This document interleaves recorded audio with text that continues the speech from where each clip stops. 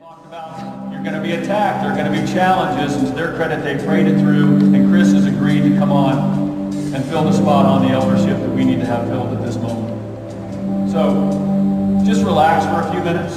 I'm going to ask Chris and Trina to come up, and I think all the children are, the children coming up? I ask Lindsay and Madison and Evan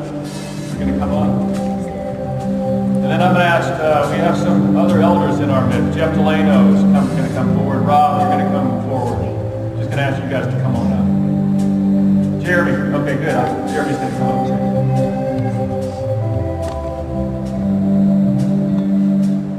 Jeremy Ward, Jeff Delano, Rob Probro. They're all elders here at Northview. They're just not officially serving at this point. And I thought, wouldn't it be great to just, as a, just ask you guys to stand just for a minute. Wouldn't it be great just, just, just you guys understand we have some really great leaders. We, I mean, our VBS workers, we just have some great servant leaders. But I've worked shoulder to shoulder with, with, with these folks, and they're, they're just simply the best. And I think it's important to understand as we're having to transition out of a staff member because God is calling her to, to another challenge. I think it's incredible how God, the same day, allows us, we're going to ordain Chris Saltz into the eldership right now. And, and how you can see that God is providing some incredible leadership for Northview, and we are truly blessed. So what I'd like to do is I'd like to ask Brad if he would. What we do is we just kind of have a charge that we want to read. I'm going to read this to Chris, but it's, it's applicable to Trina, his wife, and his three children. Then we're going to ask Chris if he would just kneel. And I'm going to ask all the folks on stage here to lay their hands on Chris, and then we're going to pray for him. We're going to ordain him into the ministry, into the, uh, into the eldership. So just kind of relax. Got a couple more minutes, Brad, if you would read that charge, and then we'll pray. The Apostle Paul read much to say regarding elders and deacons used a significant expression in 2 Timothy 2.8. Remember Jesus Christ. May you ever remember him whom you have confessed as your Lord and Savior, who has called you to himself and now sends you forth to be his elder. Remember, you belong to him. You are not your own. You have been bought with a price. Therefore, make your ministry an offering to him. Remember Jesus and his words.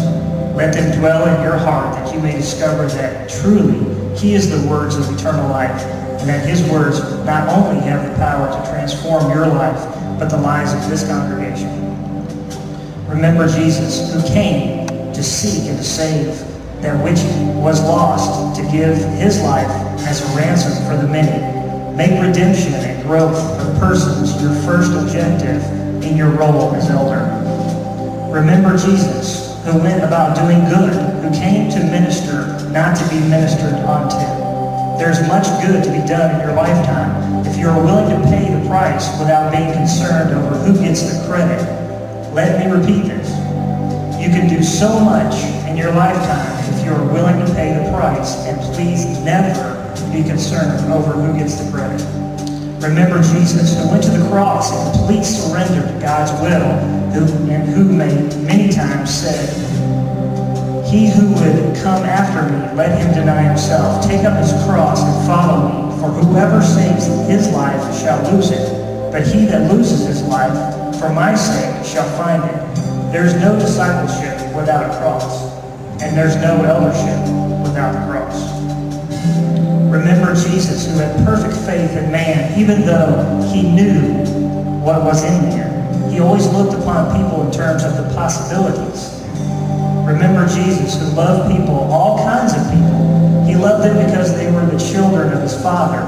He came not to condemn them, but to love them. Therefore, before you can effectively carry out your role as an elder, you must have faith in people and love them devotedly. Remember Jesus, who came preaching and teaching and has commanded you to go preach and teach. You are men of the church, spokesmen for God. Therefore, the church becomes a distinctive symbol. Come to it often with a sense of urgency to rekindle the fire of the gospel in you.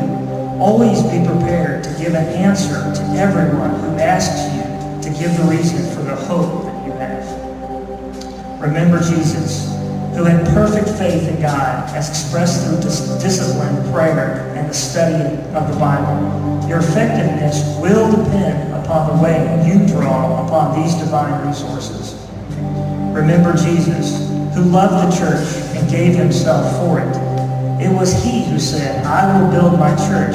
Make sure that the church belongs to him and is dedicated to carrying out his purpose and will. The church is the living, living, visible body of Christ in the world today. Apart from this, the church has no right to exist, nothing to preach. It is merely a needless burden. Remember Jesus meets the needs of every human heart. Therefore, bring the hearts of men to the heart of Christ. Remember Jesus, and you will fulfill the purpose of your calling as an elder in Northview Christian Church. No greater call for a layperson than to be called into eldership. Chris, I know you understand that. I know you and Trina have prayed this through.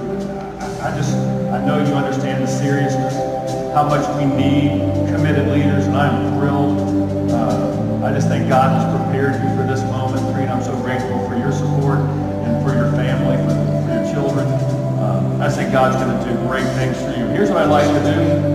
Uh, this is the whole church thing. So I'm going to ask the whole family. Let's go down down front. Um, I'm going to ask everybody. Come on, let's go. Let's, let's all go down. Let's all come down. Let's go, go down front. We're a big, we're one big family here. So here's what I'd like to do. Chris is going to kneel. I'm going to pray. I want everybody to come up. Everybody. I want everybody. Everybody from the back. If you're standing against the wall back there, every, I want everybody just to come on up. We're just going to gather right here. We're going to we're going to symbolically lay hands on Chris and Trina his family. We're not. You guys don't have to name. We are going to ask Chris to kneel. Come on up. Get uncomfortable again. Get, get up here. This is so important. And this is so serious.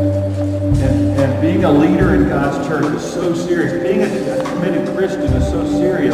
And, and Satan doesn't like it. Satan wants to attack us. Satan is going to try to attack Chris and his family.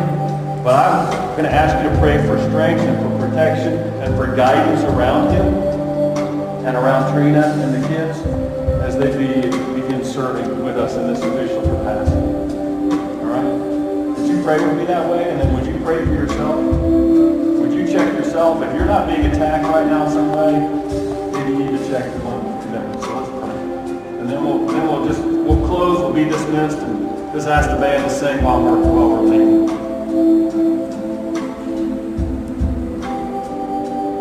Father, sometimes I wonder where the next leader is going to come from.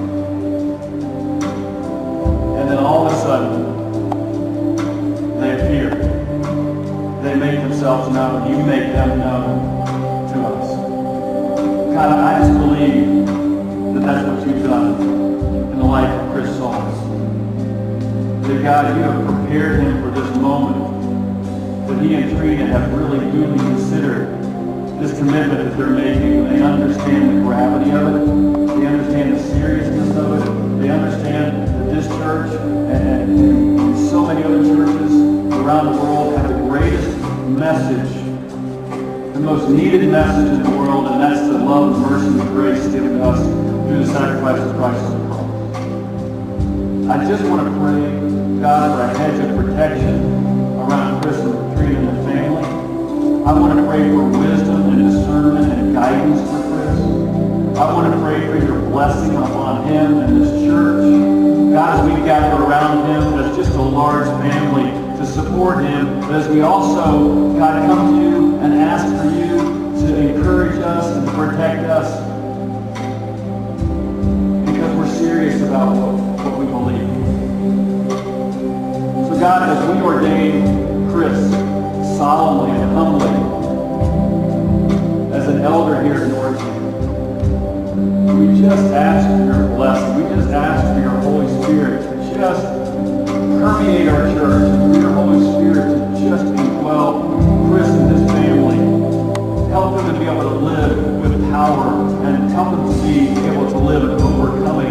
life as a leader. Father, help him to always be an example. Father, help him always to say no to the wiles of Satan and always say yes to you. Because God, we are doing the most serious work that can be done. So, Father, bless Chris. We thank you for his life. We just ask you to use him in an incredibly abundant way